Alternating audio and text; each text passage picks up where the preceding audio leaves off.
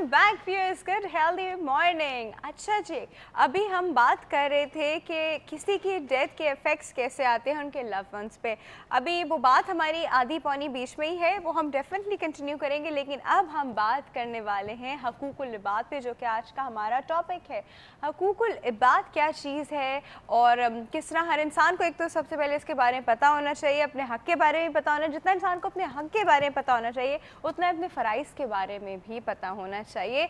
Usually we end up knowing our हकूक only और हम लोग हमारे फ़राइज़ जो होते हैं पता भी होते तो नहीं कर रहे होते। फ़राइज़ कभी कभी हम लोग कहते हैं ना कहीं बैग पे डाल देते हैं कि जी वो देखा जाएगा हो जाएगा ये हो जाएगा। तो ये सब चीज़ें क्यों इंपॉर्टेंट होती हैं एक बैलेंस्ड लाइफ के लिए? इस पर बात कर इस पर अब हम बात करेंगे और इस पर बात करने के लिए हमारे पास हैं जी मुफ्ती मसूद अहमद साहब। सर। वालेकुम कैसे हैं आप? अल्हम्दुलिल्लाह बिल्कुल ठीक ठाक।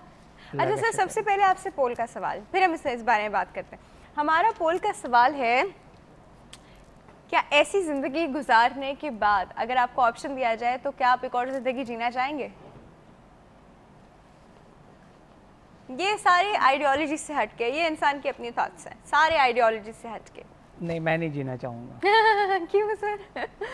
क्यों क्यों? अब हम एक्सप्लेनेशन भी तो पूछेंगे। अब इस वक्त जो हालात नज़र आ रहे हैं तो पहले से ज़्यादा स्ट्रगल की भी ज़रूरत होगी और इंसान खाम खा अपने आप को स्ट्रगल में क्यों डाले?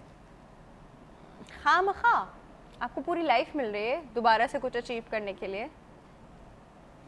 तो खाम खा तो नहीं होगा। जो चीज़ मेरे ख्याल में शायद पॉसिबल नहीं है पॉसिबिलिटी तो... नहीं है इट्स जस्ट सिचुएशन पॉसिबिलिटी तो डेफिनेटली है खुदा ने पॉसिबिलिटी नहीं दी तो आप कैसे रख सकते हैं? पॉसिबिलिटी तो नहीं है बट जस्ट अ सिचुएशन एक मिनट के लिए मैं सोचूं कि मेरी जैसी ज़िंदगी है इसके बाद मुझे एक और ज़िंदगी चाहिए नहीं? यू नो ऐसे। तो मैं तो यही कहूँगा कि अगर मुझे और ज़िंदगी दे रहे हैं तो मेरी पिछली ज़िंदगी की जो चीज़ें वो माफ़ करके अगली ज़िंदगी आखिरत की ज़िंदगी और अच्छी हो जाए।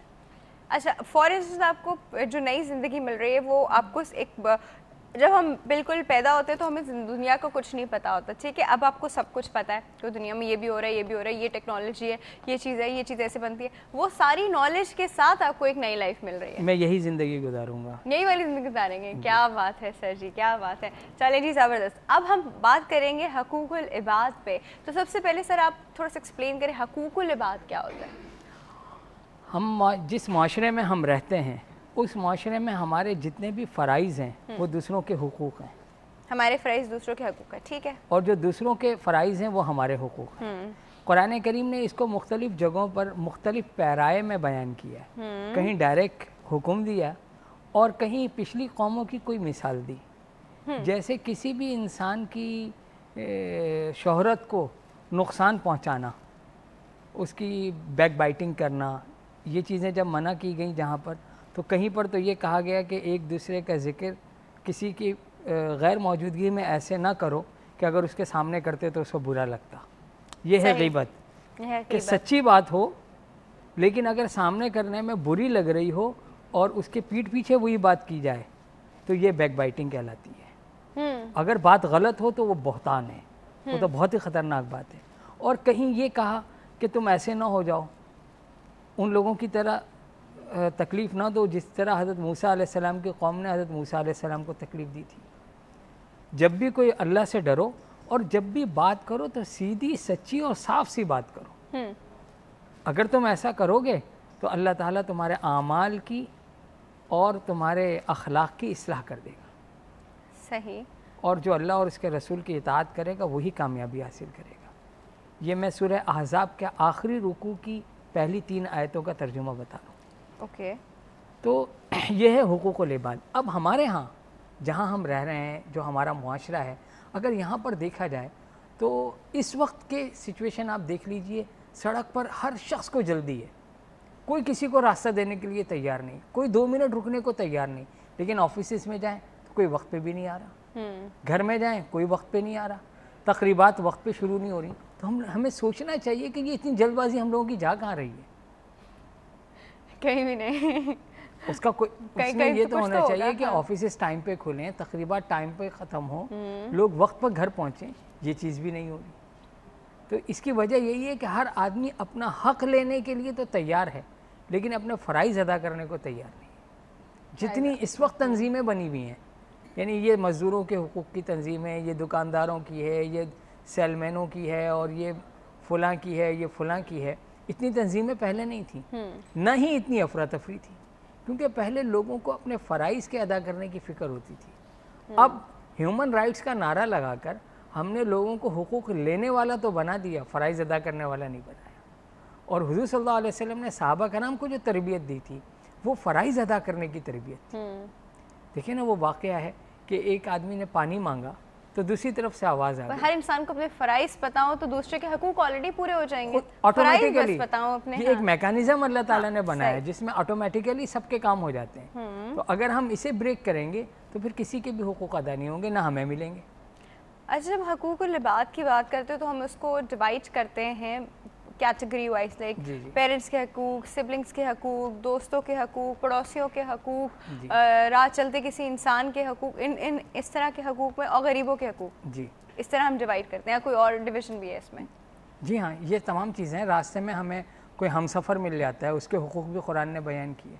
अच्छा। इसी तरह हम हम जहाँ काम कर रहे हैं बिज़नेस कर रहे हैं हमारे उस बिज़नेस का क्या हक़ है? हमारे बिज़नेस पार्टनर्स के हकूक हमारे साथ वर्किंग कॉलीग्स के हकूक। बिज़नेस पार्टनर के अलावा खुद बिज़नेस के भी कुछ हकूक हैं। जैसे ये कहा गया कि तुम जो खेती बाड़ी कर रहे हो तो तुम्हारी खेती के भी हकूक हैं। कि उसे वक्त पर पानी दिया जाए अच्छा उसकी केयर की जाए और जब उसे निकाला जाए या उससे जो नफ़ा हासिल हो उस नफ़े में जिन जिन लोगों का कंट्रीब्यूशन है उन उनमें से बाज़ लोगों को परसेंटेज वाइज अल्लाह ताला ने डिफ़ाइन कर दिया कि उन लोगों को ये चीज़ें देनी है। हम्म। तो उसकी अदायगी जैसे ज़क़़त की अदायगी हो गई। और आपके साथ काम करने वाले लोगों को सिर्फ़ ये चीज़ नहीं होती कि हम सिर्फ़ उन्हें तनख्वाह दे दें। हमारा अच्छा रवैया उनके साथ हुस्न सलूक ये सारी चीज़ें काउंट करती हैं किसी भी बिज़नेस को स्टेबल करने के लिए। सही। यही चीज़ें कुरान ने भी बयान की अच्छा सर हम इंडिविजुअली हर हक हर एक के हकूक पर बात करते हैं। कॉल है जी हमारे पास। पहले वो अटेंड करते हैं। अस्सलाम वालेकुम। अस्सलाम ये सर साहब गुड हेल्दी मॉर्निंग बिल्कुल ठीक ठाक आप कैसे तो आपकी तारीफ़ करूँगा और जिन साहब ने आपके बारे में कहा कि आप हर एक को एब्जॉर्ब कर लेती हैं और कैसा भी लहजा हो उसका कैसा भी वो टॉपिक पे बात कर रहा हो तो ये क्वालिटी तो उन साहब ने बहुत कम तारीफ़ करी है जितनी मैं करना अल्लाह नहीं नहीं प्लीज़ तारीफ़ नहीं करे मुझसे। तारीफ़ नहीं, लेनी आप- चाहती और आप सबसे बड़ी बात जो आप में फ़र्क है ना एक आम प्रोग्राम पेश करती हैं और आपके प्रोग्राम पेश करने में एक आप उसके इंटरनल भी दर्द को महसूस करती हैं जो इस्लाम का बहुत बड़ा हिस्सा है बहरहाल अल्लाह आपको तरक्कियाँ. दे बहुत. हाँ खुशियाँ जी। दे आगे अच्छा अच्छा। पहले तो आपका पोल का सवाल दे बिल्कुल, बिल्कुल, कि हम्म। मजहबी लिहाज से तो दूसरा जन्म है ही है हमारे लेकिन अगर फ़र्ज़ कर लिया जाए हम्म। तो मैं तो ज़रूर चाहूँगा दूसरी ज़िंदगी मिले और जब जैसा कि आपने कहा कि हमें मालूम होगा कि क्या क्या हमने किया है और क्या करना चाहिए तो मैं अपनी पूरी ज़िंदगी सर्फ कर दूँगा अपनी गलतियों को दूर करने में। बहुत सादा सी बात है। तो मैं तो बिल्कुल चाहूँगा दूसरी ज़िंदगी मिले और जो लोग मायूसी की बात कर अच्छा रहे हैं दूसरी ज़िंदगी मिले साहब तो फिर किस तरह के सर्कमस्टांसेस में मिले? ऐसी जैसी आपको अभी मिली हुई है। देखिए सरकम कुछ भी हो अल्लाह की जात से नाउमीद होना कुफर है। हम्म। देखिए कमल का फूल है कीचड़ में खिलता है कितना खूबसूरत फूल है। तो वहाँ भी खिल सकता है। कुदरत ने पहाड़ों पे कैसे कैसी जगहों पे जहाँ कुछ भी नहीं है कोई बारिश नहीं होती कोई पानी का इंतज़ाम नहीं वहाँ भी दरख्त को उगा दिया है। अगर हम ज़िंदगी हमारी अल्लाह तला ने दी ऐसी है कि ये ज़िंदगी ऐसी है कि तुम्हें कांटों से बच के निकलना है। अगर हमने कांटों की परवाह करने गए और रुक गए तो हमारी ज़िंदगी का फ़ायदा ही क्या है? और ज़िंदगी है आखिरत का सामान कमाने की। बिल्कुल। अच्छा दूसरा मुफ्ती साहब बैठे हैं उनसे इतना से मैं करूँगा कि हुकूक लिबाद के बारे में मैं तो सिर्फ़ एक छोटी सी बात कहूँगा कि हमारा ईमान और मज़हब जो है जो नमाज़ रोजा हज जक़ात ये जाती फेल है और ये सिर्फ़ दस फ़ीसद हिस्सा है मज़हब के और ईमान के। नब्बे फ़ीसद बिल्कुल अलग है जिसके बारे में हमें नहीं बताया जाता। और इसमें कुछ रोशनी डालें तो बड़ी मेहरबानी होगी। ठीक है। Thank you so much Yusuf साहब। अभी हम इससे बात करते हैं। ठीक है? थैंक यू सो मच अच्छा जी। यूसुफ साहब ने जो बात की वाकई बिल्कुल सही बात की उन्होंने। हम शरीयत की जो चीज़ें बयान करते हैं उसको हम पाँच हिस्सों में तकसीम करते हैं। एक एतक़ादात। दूसरा इबादत। नमाज़ रोज़ा हज ज़क़़त। अगर देखा जाए यूसुफ साहब की बात बिल्कुल ठीक है कि वो 10 से 15 फ़ीसद है। और वो हमारा पर्सनल फेल है। वो पर्सनल और आप किसी की पर्सनल फेल पे उस पर बात नहीं कर सकते। जी। उसके बाद उसके बाद जो है मामला हाँ। उसके बाद आ, आती है मामला जो हम दूसरों से कोई मामला करते हैं किसी से ख़रीदो फरोख्त करते हैं किसी को थोड़ी देर के लिए हायर करते हैं हम्म। किसी की सर्विसेज़ हम लेते हैं ये हम्म। मामला कहलाते हैं। और इसके बाद जो चीज़ें ये किसी के लिए सर्विस करते हैं। जी। हम्म। तो ये चीज़ें मामला कहलाती हैं। इसके बाद जो चीज़ आती है ये चीज़ें भी किसी हद तक पढ़ाई जाती हैं। और इनकी भी तरबियत होती है। उसके बाद चौथी चीज़ आती है माशरत। सही। ये हमारे माशरे में इस्लामी माशरत या माशरत क्या होती है? सिविक सेंस किस दर्जे में है हमारे पास? मुझसे बेहतर आप समझ सकती हैं इसको।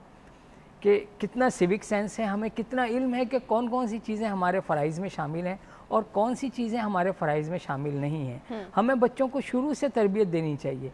बच्चे हमारे साथ अगर गाड़ी में बैठे हुए उन्होंने जूस पिया और उसका जो डब्बा है वो बाहर उछाल दिया। इस तरह की बहुत सारी चीज़ें ऐसी हैं। अब वो बाहर उछालने की सूरत में किसी की जान भी ख़तरे में पड़ सकती है। कोई कोई बाइक राइडर उससे कोई बाइक पे आ रहा था वो उससे टकरा जाए। कुछ भी हो सकता है। ये है ये चीज़ें आती हैं माशरत के अंदर हम्म। कि हमें हमारी तर्ज माशरत कैसी होनी चाहिए। तर्ज माशरत के अंदर हमारा रहन सहन उसका स्टैंडर्ड ऑफ़ लिविंग नहीं कहलाता बल्कि उसके अंदर लोगों के साथ जो हमारा बिहेवियर है वो कैसा होना चाहिए? सही। हमारा वे ऑफ़ थिंकिंग कैसा होना चाहिए? हम्म। ये चीज़ कहलाती है माशरत और उसके बाद कहलाती है अखलाक।